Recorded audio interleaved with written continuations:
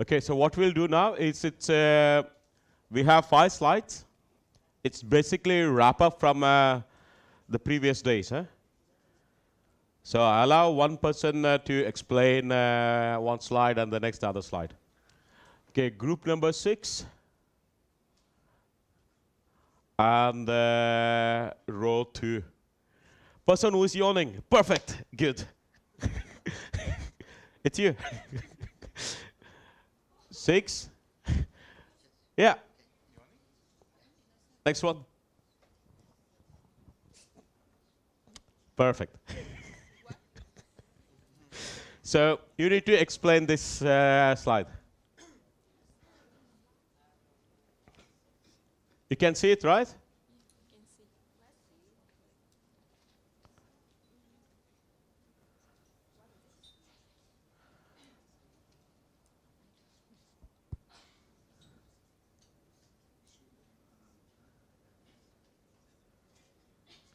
And other group can comment. Eh?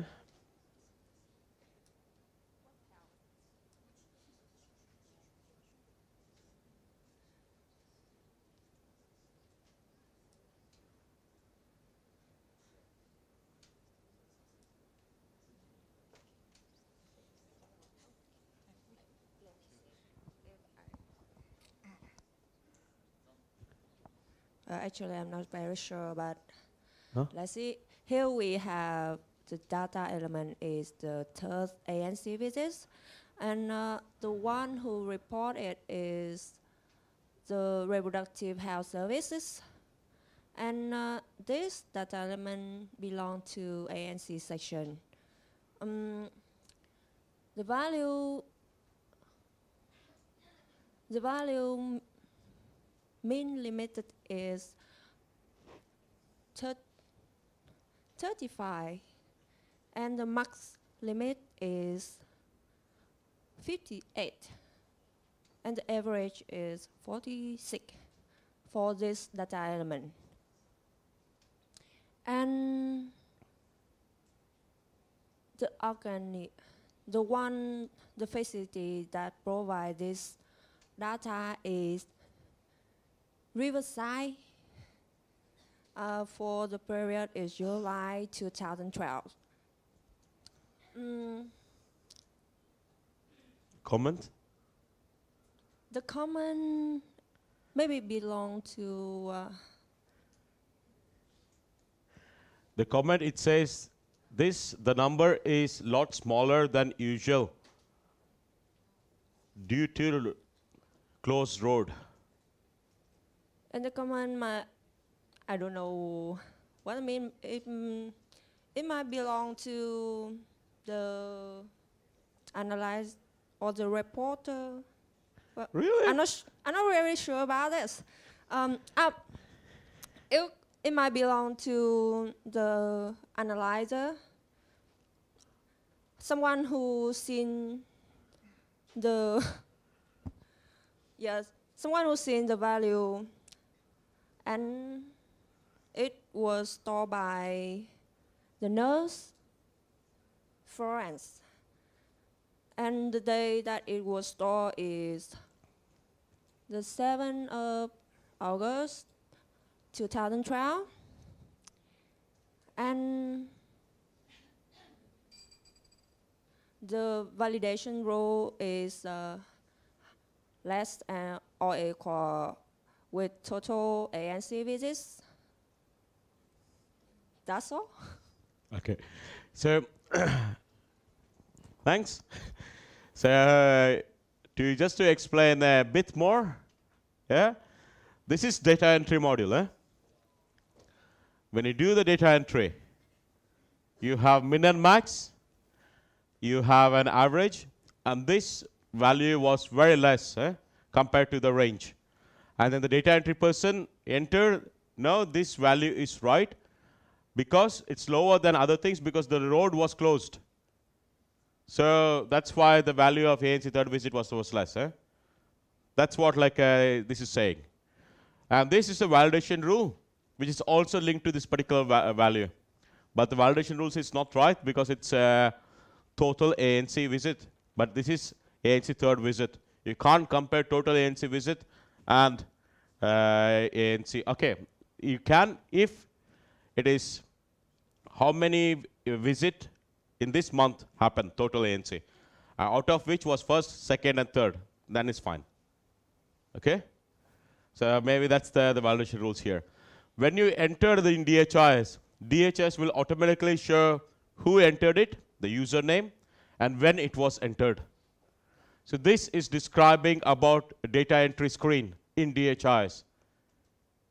So we have taken out all the components out and showed you like this. Okay, basically this is what happens in uh, DHIS data entry. Okay, fine. Yeah, just to explain and wrap up like what we already had before. huh? So I'll go very quick. It's the same thing. A data set can have a section. A section can have multiple uh, data element. Yeah, the same thing like last time where we showed. We explained this uh, this slide. One data element can belong into multiple groups. Section is basically related to data set. Okay? Data element group can have it in multiple data set, it's fine. Data element and data element group has no linkage between data set. Huh?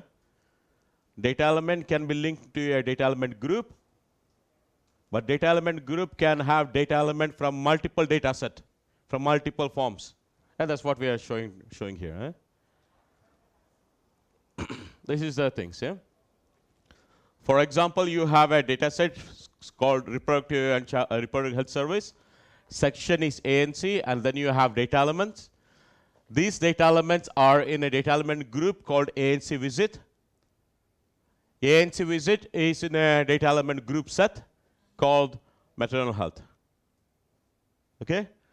Group set is very different. Data set is very data set belongs to one particular org unit and that particular periodicity.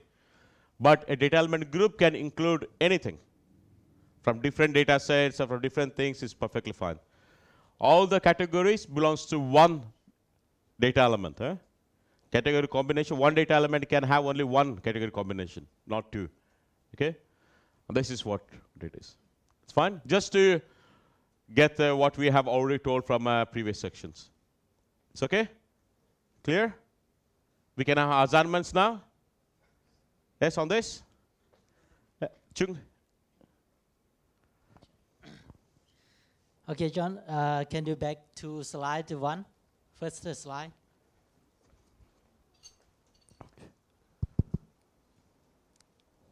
And for first slide, I would like to say about the storage by storage by.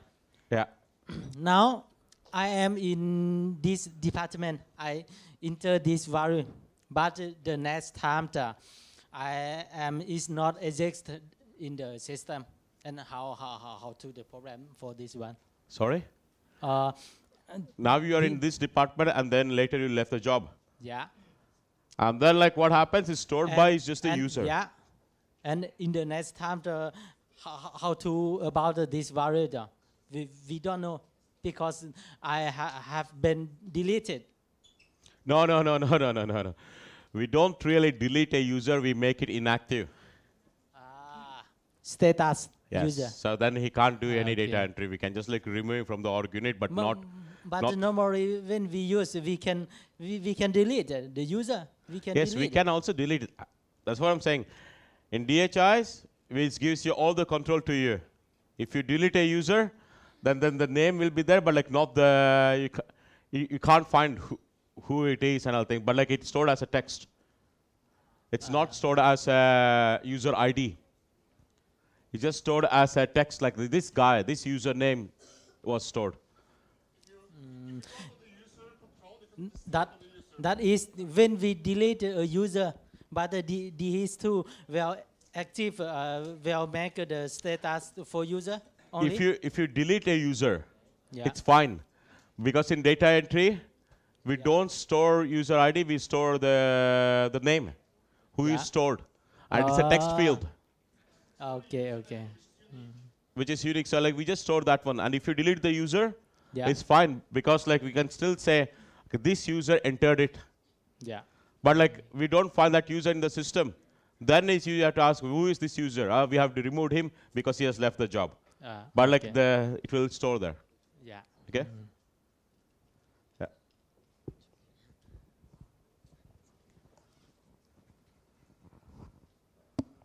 Does this concept applies also to organization that has closed down? Uh, no. Uh, actually, like in organization, we, we should not delete it. We should always make say inactive. It's not registering. Because in DHIS, the in data value table, we store as ID, the, not as the, um, uh, the text. Because like we don't usually uh, aggregate by user, but we aggregate by orgunit. Orgunit, you should not delete it. If you are collecting any data, I guess like even DHIS won't allow you to delete if there is any data value. Yeah, so what does DHIS does? You can make it as inactive. That means you can't register any more data. So like for example, this hospital is closed now. So you, when you go to Orgunit module and say edit, when you start add new, you have only one thing called opening date. But when you edit a Orgunit, you will find two, opening date and closing date. And you can just say closing date. And then you also, I talked to you about like registered active, yes or no. So if you say no, that means like now the facility is it's dead, yeah, or not active. Okay. Fine. Any more questions? Okay. Simultaneously, photo finish. I was just wondering, does the system captures the audit trail of changes, enter, deleted? Okay, like we, we don't really have, um, the question was, does system capture audit trail? Audit trail is something like, for example, now this user changed the value. Okay, next user come and change the value. And some other month, like someone changed the value. Do we keep who changed and wh- what were the values? We don't have audit trail implemented in the, in the, in the system yet but you can add it. I know Jason Pickering has added in, uh, I guess, Zambia, the audit trail. It's very easy to include audit trail. It's no problem. We can do that, or we can include that trail. We have future plans to add it to the system, uh, but today Currently, we don't have it. yeah. it's coming. It's not yet there. Okay? Yeah. Uh, this No, no, just, just when it's green, that means yeah. uh, this pertaining to the org unit. Suppose the, the Riverside becomes C seaside next time, change the name I mean, by five years. So still we can retain the I mean reverse Yes. side somewhere. I mean It's- we can have a reference back. That org, org unit was previously named as Riverside. Now Yeah. it has been changed to seaside. So Yes, actually, like you know, like you, like usually most of times the names has been changed to these things to that thing. You can change the org unit name; it's fine, no problem. Like the data will be still be there. So Riverside to seaside, it's fine, and then you can also add from 2008 to 2009 it was called Riverside, and now it's called seaside. It's okay. It's perfectly fine. Nothing will happen to the data. Because when we store, we don't store it as a text, we store it as an ID. So you can change whatever the name you want to change, but like the, it's still, the value is linked to that particular uh, ID. So it, it's okay. Now you can uh, include uh, those things in your, the point was like is to, we have something called attributes. We'll talk about that one a bit later where you can have old name, new name. You can also add it in the comments or description. So there are multiple ways where you can add these uh, things. It's okay. Like usually in the pro- facility profile, you always have what was old name called, new name called. Then uh, sometimes you also have uh, what is this called in uh, local language, uh, different different name. So it's, it's it's fine. Okay. So okay, any question? Chancellor, you had a question?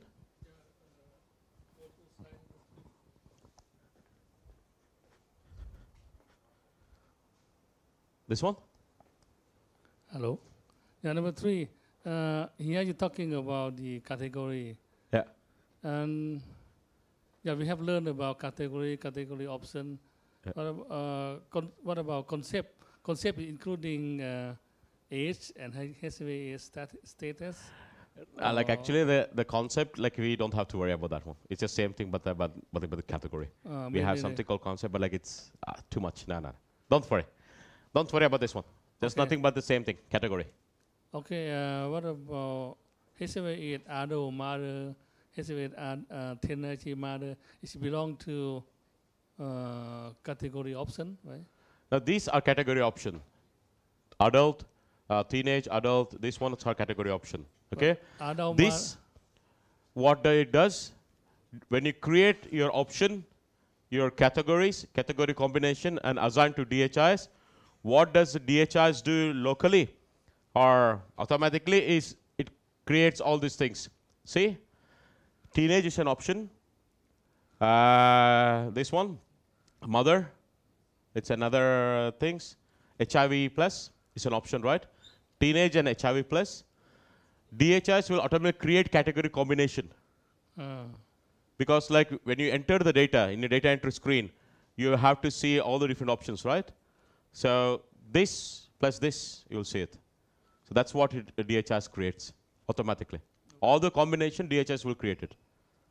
This is semantics, but I think you just, I think these four below are category combinations, not categories. The categories are age and HIV Yes. status. Yes. So I, I found that hard. I just, here, actually. well, yeah, I just, maybe they're both category combinations, but HIV teenage mother is one of the category combinations. It's not a category, in my mind, in my, the way I use Yeah. my language. HIV, it's, it's actually what we call, it's, it's a long name, uh, category combination option, or category option combination. Category option combination. Combination. Yeah. Category is just age and HIV status are category. Yeah, and then the combination is just the both. So like this supposed to be around here. It's Just that that's what the. Sometimes the people accept it as a concept, but like we don't want to uh, misunderstand that. So I just put it as a category. Okay, any more? So we move to uh, interesting ones.